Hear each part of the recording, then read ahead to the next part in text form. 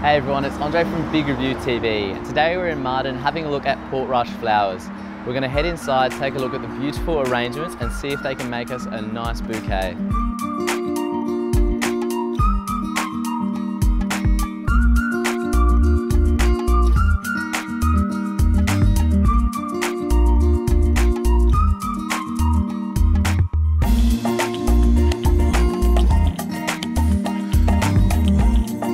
Portrush Flowers really has an incredible range of fresh flowers on offer for any customer and Fiona really prides herself on her old-fashioned customer service where everyone feels welcome and comfortable to have a chat to her about what they're really after.